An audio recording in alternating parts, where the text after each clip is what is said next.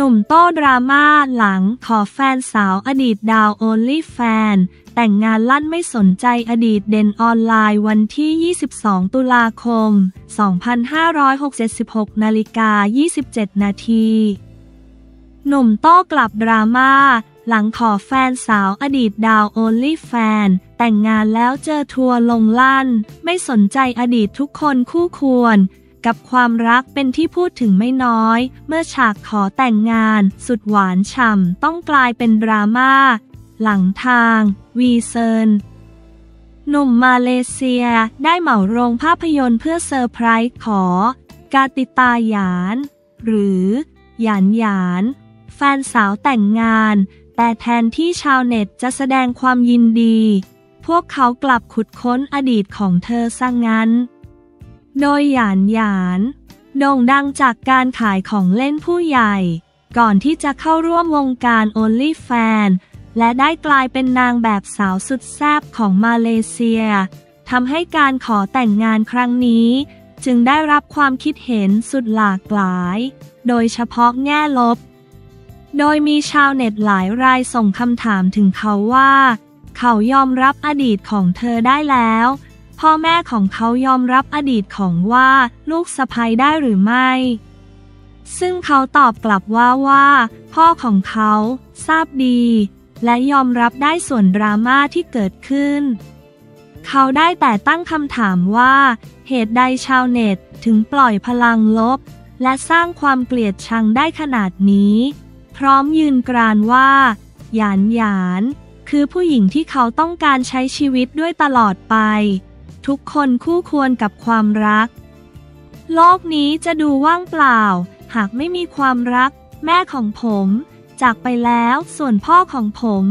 ก็ยอมรับอดีตของเธอได้ พวกคุณอาจมองว่าไซเบอร์บูลลี่เป็นเรื่องเล็กๆ แต่จริงๆแล้วมันส่งผลกระทบมากมาย ทั้งด้านจิตใจและอารมณ์ ข่าวที่เกี่ยวข้องนางแบบสาวควงไฮโซ เที่ยวผับฉลองสุดเหวี่ยง ควักปืนแจกเงินกระจายเจ็ดแสน ขอบคุณที่มา World of Bus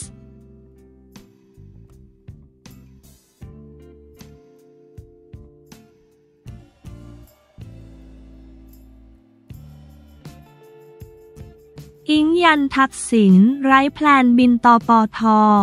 จ้งวงพักร่วมยังไม่สรุปสถานบันเทิง ครบวงจรการเมือง วันที่ 22 ตุลาคม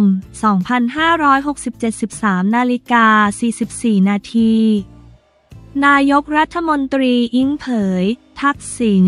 ยังไม่มีแพลนบินไปต่างประเทศ ปัดตอบโอน หุ้นหรือขายหุ้นสองบริษัทให้พี่สาวชี้วงคุยพักร่วมรัฐบาล ยังไม่สรุปเอน เมื่อเวลา 12 นาฬิกา 50 นาที วันที่ 22 ตุลาคม 2567 ที่ทำเนียบรัฐบาลนางสาวแพทองทาน ชินวัตรนายกรัฐมนตรีให้สัมภาษณ์อีกครั้ง ถึงกระแสข่าวนายทักษิณชินวัตรอดีตนายกรัฐมนตรีจะยื่นเรื่องต่อศาลอาญารอบสอง เพื่อขอเดินทางออกนอกประเทศ ไปสหรัฐอาหรับ เอมิเรต เพื่อพูดคุยธุรกิจว่า ยังไม่มีแพลนเลย ผู้สื่อข่าวถามว่า บริษัทประไหมสุรี Property จำกัด และบริษัทอัลไพน์กอล์ฟแอนด์สปอร์ตคลับจำกัด เป็นการขายหุ้น หรือโอนให้นางสาวพินทองทา ชินวัตรคุณากรวงศ์ พี่สาวนายกรัฐมนตรี กล่าวว่า เดี๋ยวให้รายละเอียดอีกครั้ง เพราะมันมีเยอะเมื่อถามว่าในการรับประทานอาหารค่ำกับพรรคร่วมรัฐบาลช่วงค่ำวันที่ 21 ตุลาคม ได้พูดคุยเรื่องสถานบันเทิงครบวงจร หรือ Entertainment Complex หรือไม่ นายกรัฐมนตรีกล่าวว่า คุยหลายเรื่องมีหลายเรื่อง เมื่อถามย้ำแสดงว่ามีเรื่องดังกล่าวด้วยใช่หรือไม่ นายกรัฐมนตรีกล่าวว่ามีเยอะ เมื่อถามว่าจะเป็นไปในทิศทางเดียวกัน หรือไม่ นายกรัฐมนตรี กล่าวว่ายังไม่สรุปเลย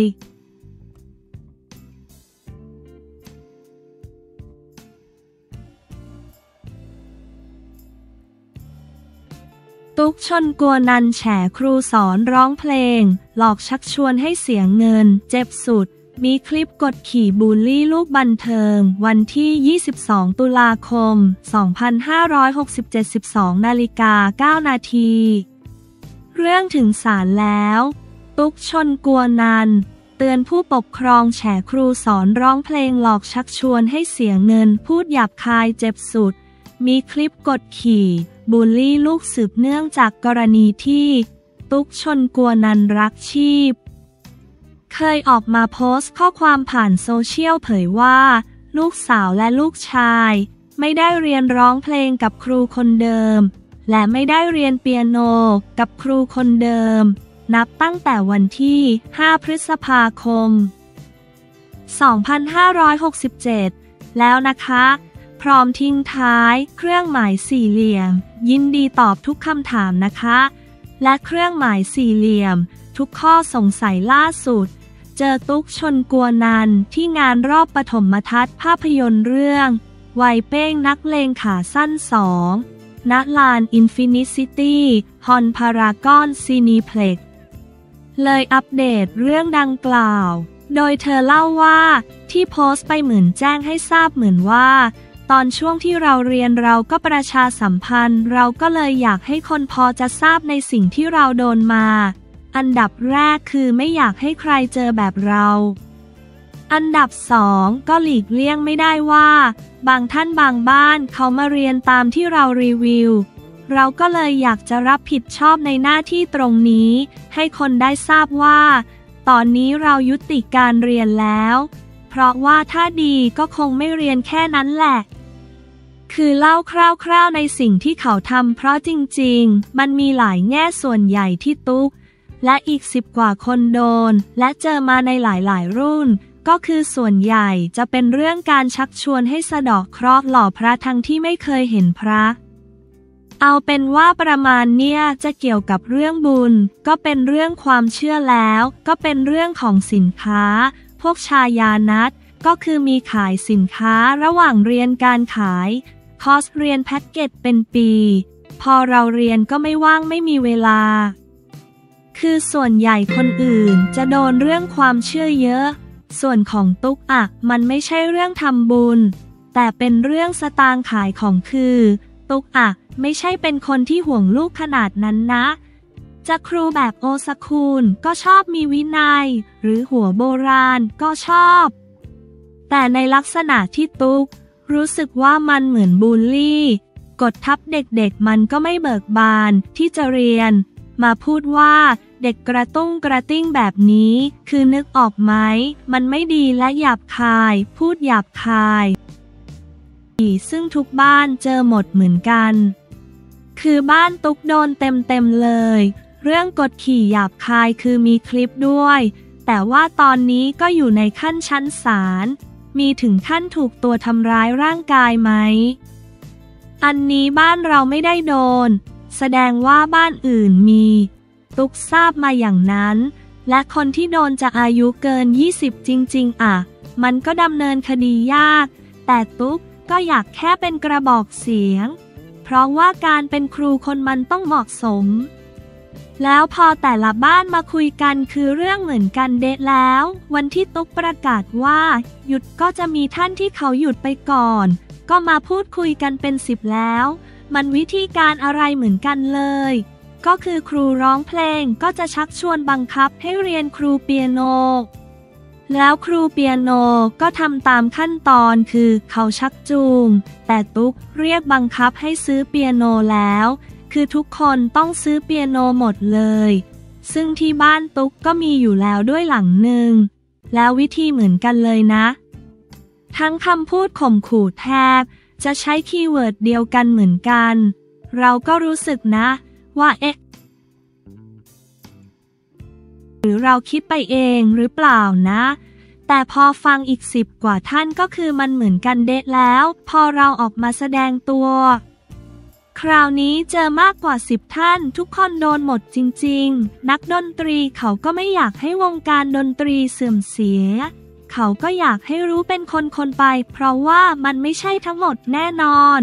แล้วก็ไม่อยากให้มันเสื่อมเสีย แล้วหลังจากนี้ยังมีรายใหม่ๆ เข้าไปสมัครเรียนอยู่ไหม เอาจริงๆ ไม่ทราบ แต่ถ้าทราบก็จะแจ้งนะ คือวัตถุประสงค์ก็ไม่ได้มีความโกรธแค้น เพราะว่าเราเป็นคนตัดสินใจเองแล้ว เราก็โตแล้ว แม้ว่าทุกอย่างมันจะเรียกว่าชักชวนชักจูงทำให้เราหลงเชื่อ ในศาลเขาก็บอกว่า เหมือนก็เราไปซื้อเองใช่ไม่เถียงแต่ตุ๊ก ก็ไม่อยากให้เด็กคนไหนโดนอีกแล้ว เพราะฉะนั้น ถ้าตุ๊กรู้ว่ามีใครตุ๊กก็จะบอก ส่วนตอนนี้กระบวนการก็อยู่ในช่วงไปขึ้นศาล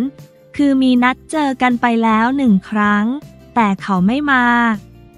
แล้วเดี๋ยวครั้งต่อไปจะเรียกสืบพยาน แล้วจริงๆ ทางเราอะเคยนัดนอกรอบแล้ว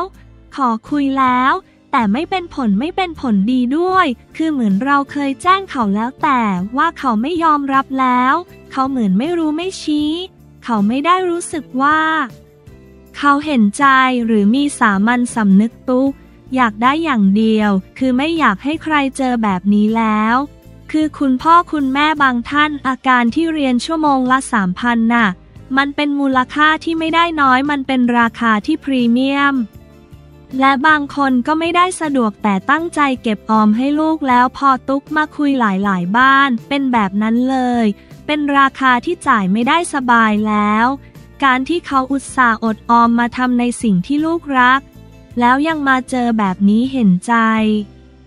แล้วยิ่งรู้ว่าเขาดูเราแล้ว เห็นบ้านเราเรียนก็เลย ลองมาเรียนดูก็รู้สึกผิด ก็เห็นใจจริง ๆ เพราะว่าลูกเราก็เรียนเยอะแล้ว เราก็ไม่ได้จ่ายสบายๆเหมือนกัน สถาบันที่จ่ายแพงก็ไม่ได้การันตีว่าจะดี คืออันเนี้ยไปเรียนที่บ้านด้วย เป็น p r i v a t ตุ๊กก็เลยเข้าใจเลยว่าทำไมเราต้องเรียนที่สถาบัน คืออันนี้รู้ซึ้งเลย คือจริงๆ คนอื่น อาจจะรู้อยู่แล้ว อันนี้คือเราแย่มากเลยไปเรียนที่บ้าน เพราะฉะนั้นอะไรมันจะเกิดขึ้นก็ได้ เหมือนแบบเราสอนเองที่บ้านเราไม่ได้มีผู้อำนวยการ ของสถาบันควบคุมคือเป็นที่บ้านทั้งสองเลย พอเราเจอแบบนี้แล้วในการเรียนวิชาอื่น เราต้องสแกนมากขึ้นไหม คือปกติเราพยายามใช้สมองแล้วนะ แล้วก็ยอมรับเลยว่า พลาดคือเรื่องสตางค์อะโอเค เราซื้อมือเอง อย่างอื่น เราก็ฟุ่มเฟือยมันก็มี แต่อันนี้เหมือนเด็กมันก็เจอในจุดที่ถูกทำให้เสียใจ เราก็เลยรู้สึกแย่ที่เราไม่ดูให้มันดี เพราะยังไงเราก็คือผู้ปกครอง เราควรจะดูแลเขาดีๆ ในการจัดหาครู หรือติดต่อครูมันก็เป็นหน้าที่เรา เราก็รู้สึกผิดแหละ ไม่เป็นไรในชีวิตเราก็ต้องเจอหลากหลาย ทุกอย่างที่เข้ามาในชีวิต มันก็เป็นบทเรียนอยู่แล้ว เราก็จะเจอนู่นนั่นนี่บ้าง เราก็จะมีภูมิต้านทานรู้จักแยกแยะวิเคราะห์ถ้าทุกอย่างถูกต้อง เราก็คงไม่ได้เจออะไรที่มันแตกต่าง อันนี้ก็ถือว่าทุกอย่างมันเป็นชีวิต แล้วคือส่วนใหญ่ของตุ๊กที่บ้านตุ๊ก จะเป็นแม่ที่โดนเรื่องสตางไปเยอะ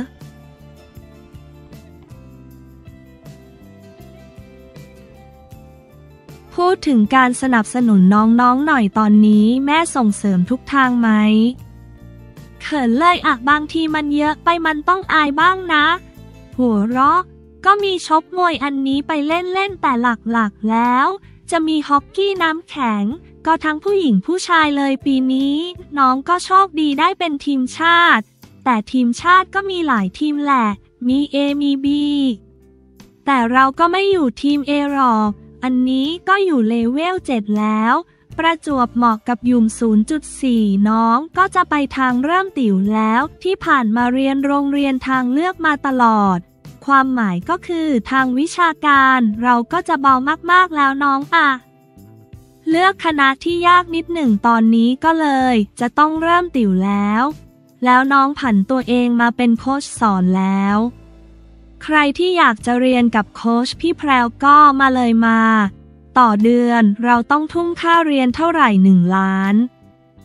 โหยไม่ถึงหนึ่งล้าน ถ้ามีเงินนับพร้อมทุ่ม แต่ไม่มีให้ทุ่มคือตอนเนี้ยกรุงเทพเรียนอะไร มันก็ราคาไม่เบา น้ำตาคลอ มันก็อายอะ คือก็ภูมิใจ แต่มันก็ต้องประมาณกำลังตัวเองด้วยนะ อันนี้ก็รู้ แล้วตัวตุ๊กเองก็ตัวคนเดียวตุ๊ก ก็ไม่ได้ใช้จ่ายอะไรเยอะค่อนข้าง จะมีเรื่องเดียวที่เราทุ่มเท คือจริงๆแล้ว ถ้าดูแลเขาได้มากกว่านี้ อยากจะดูแลเขาให้ดีกว่านี้ด้วย แต่นี้ก็ได้ตามกำลังค่ะ น้ำตาคลอ พื่อลูกยอมทำทุกอย่าง ใช่ก็มีภารกิจเดียวแหละทำงานก็ all I have เป็นคนเดียวที่เรารู้ว่าเรามีชีวิตอยู่เพื่อใคร